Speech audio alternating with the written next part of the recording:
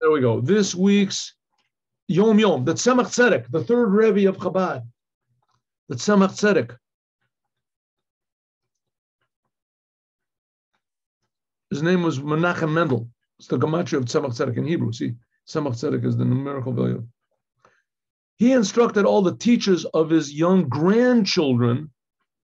Right, he had like seven sons, one passed away, six sons, and they had a lot of grandchildren. And he instructed that all the teachers of his grandchildren, in addition to the regular studies, to teach them how to read, how to understand the, the Chumash, the laws, the, the Talmud, but they should teach them simple meaning of the prayers.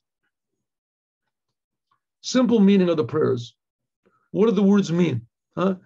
And I, I would like to suggest all to you, you should all do the same thing as go through the prayers and translate the words. Very important.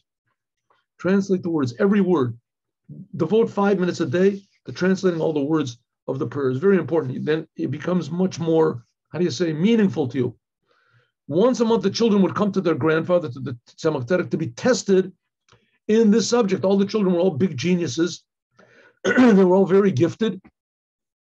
But nevertheless, he tested them on the simple meaning of the simple prayers because our connection to God is a very simple, basic one. And from that comes all the details of love and fear and awe and faith and etc. Prayer.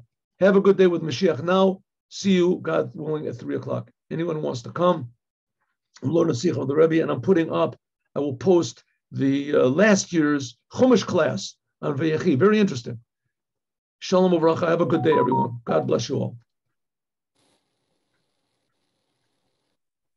Mm-hmm.